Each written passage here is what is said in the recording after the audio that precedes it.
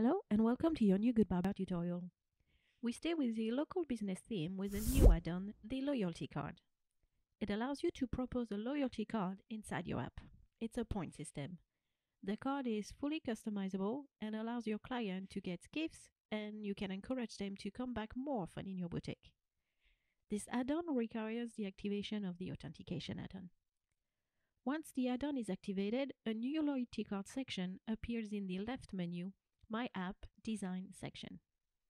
We'll design this section right away.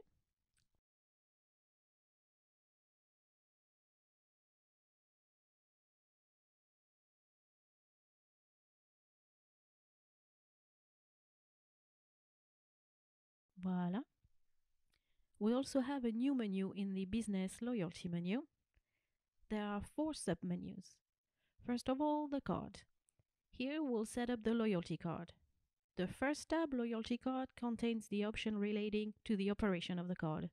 You can choose the number of points it contains, the value of each point, which will then be used to calculate your return on investment, as well as the visual for your card from amongst three models proposed. The second tab, Validation Process, allows you to choose the process that will allow your clients to validate a point on their loyalty card. Purchase in this case, the point is validated at the time of purchase in your physical shop by scanning a QR code.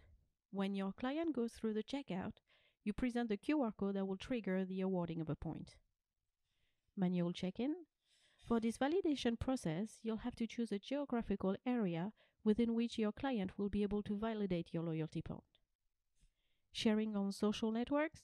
If you want to use your loyalty program to promote your business, you can opt for this validation process. All you have to do is indicate the URL you want your clients to share on social networks. Once the sharing is done, a point is validated on the card. Please note you can define the time interval between each validation process for the three processes via a drop-down menu. Intervals can be in minutes, hours, or days. Once I have chosen my validation process, I will set up the gift. This is what your clients will receive when their loyalty card is completed. You can choose the title, the description, the content of the gift, and its expiration date. On the right side of the screen, you can see the impact of your modification on the visual aspects of the gift. You can add an icon and an image to illustrate your gift. Here's my card setup. In the menu Business Loyalty, I also have a new submenu Rewards. In addition to the gifts received once the loyalty card is completed, you have the possibility to send rewards to your clients to show them your gratitude and turn them into loyal clients. Here you'll find a list of rewards offered to your clients. Rewards can be automatic or punctual by offering a one-time reward from this button. I fill in the information and send.